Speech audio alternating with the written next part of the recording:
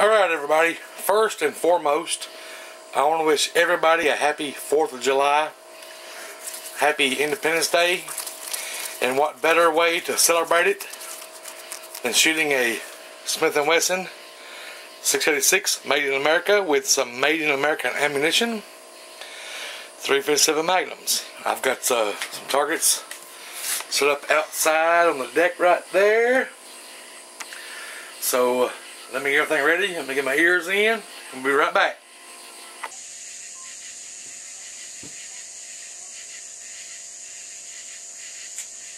Happy 4th of July, everybody.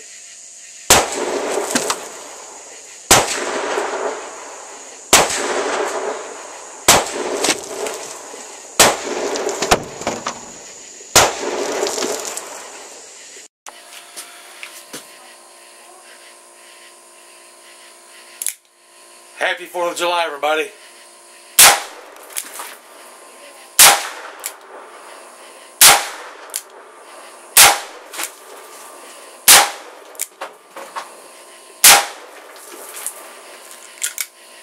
That's it.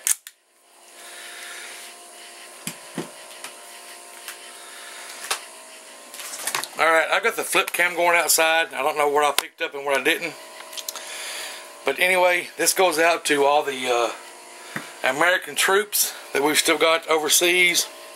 And also to all the veterans that uh, has already come back home. Without you guys, I couldn't have did what I just did. And uh, I just want to thank you all you guys for all the freedoms that we've got.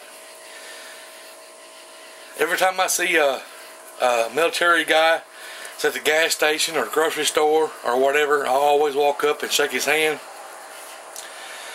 Uh, you guys mean a lot to me, more than you know. So, uh, happy Independence Day, everybody. And uh, the 4th of July means more to me than you know. I'm going to keep it short. Real short video tonight. Smith & Wesson, made in America. That's right. Anyway, thanks for watching, everybody. Happy 4th of July.